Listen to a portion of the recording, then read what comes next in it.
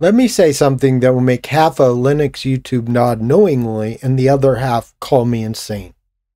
I love Slackware, and yet I don't really use it except for my server. That sounds like a contradiction, I know. But if you spend any real time with Slackware, you already understand exactly what I mean.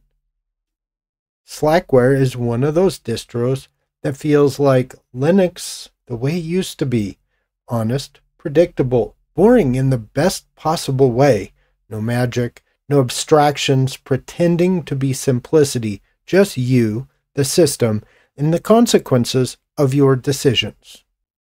And that's precisely why I admire it. But it's also why it doesn't end up on my daily machines.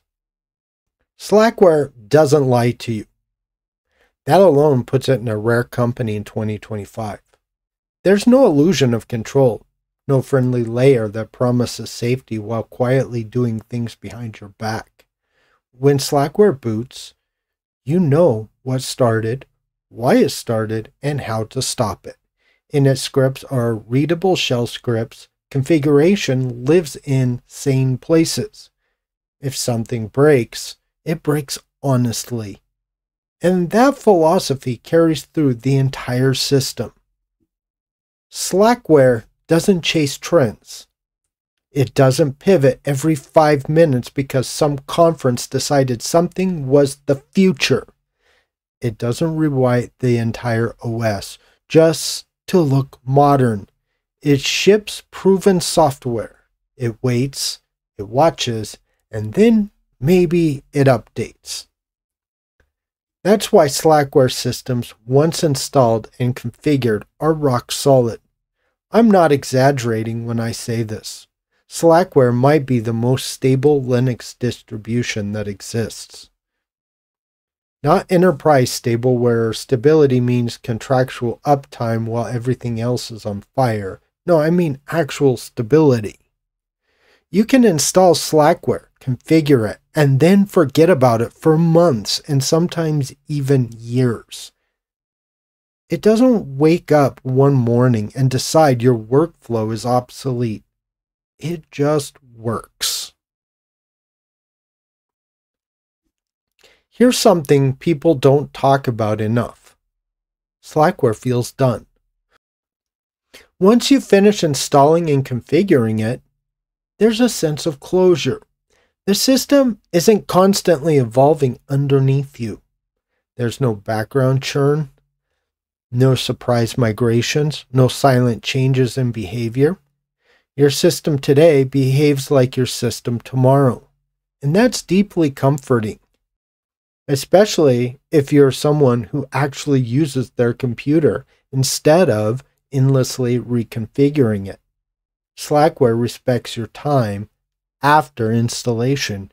And yes, that qualifier matters. Now, let's talk about the pain, because Slackware absolutely earns its reputation. First, compilation rules. Slackware's packaging philosophy is elegant and also kind of hilarious at the same time. There's a right way to do things, and that right way often involves compiling software yourself using Slack build scripts. In theory, this is great. Transparent builds, reproducible results, no mystery binaries. In practice, well, you're about to spend your evening watching text scroll by. Slack builds are often incomplete or out of date, or assume you already installed some dependency three weekends ago. And when something fails, it doesn't fail gracefully. It fails in every Slackware way, which is to say, it assumes you know what to do next. Slackware famously doesn't do automatic dependency resolution. This isn't a bug, it's a design decision. The system trusts you. That's admirable, philosophically consistent, and occasionally exhausting, because modern software stacks are absurd.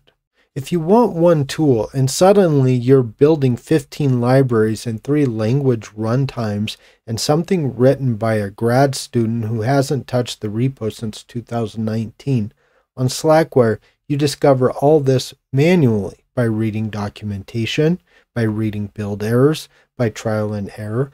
That's educational. It's also very slow. Let's be honest. Installing software on Slackware takes a long time. Not five minutes longer, long. I mean, it grab some coffee, consider your life choices long. Especially if you're building from source, which you often are. And yes, once it's installed, it's great. Clean, minimal, exactly what you asked for. But getting there, that's the tax you pay for control. And in 2025, when you just want to get work done, that tax feels heavier than it used to. So why do I still love it? Despite all of this, I love Slackware because it hasn't betrayed its principles, because it treats users like adults, because it reminds me what Linux actually is underneath all the layers we've piled on top. Slackware teaches you patience, it teaches you how systems fit together. It teaches you to respect simplicity, not the marketing kind, but the real kind. If you want to learn Linux, Slackware is a phenomenal teacher. But here's the truth I don't use Slackware as my main distro. I run my server on it.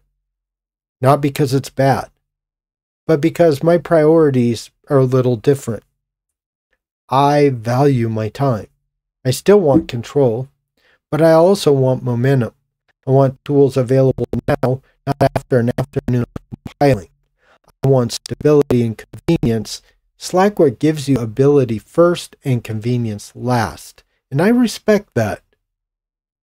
Slackware is like an old, perfectly maintained truck. It'll run forever. It's easy to fix. Nothing is hidden, but it doesn't have heated seats or lane assist or any of those modern gadgets, and it never will. And I don't need those things, and I don't need the bells and whistles that current Linux desktops offer. I love Slackware because it refuses to be anything other than what it is. I don't use it daily because I live in 2025 and sometimes you just need things to install without a dissertation. If Slackware disappeared tomorrow, Linux would be the worse for it. Because some projects exist not to win, but to remind us of what matters. And Slackware still does that better than almost anyone. And if you've used Slackware, let me know your experience. And if you haven't, you give it a try once. Not forever, just long enough to understand why people like me still love it. If you'd like to find out why some Linux YouTubers insist on using proprietary garbage, you can check that video out right there. And I'd like to thank these am amazing people right here. And if you'd like to support me, please consider doing so. That's what makes this show possible. Peace, guys.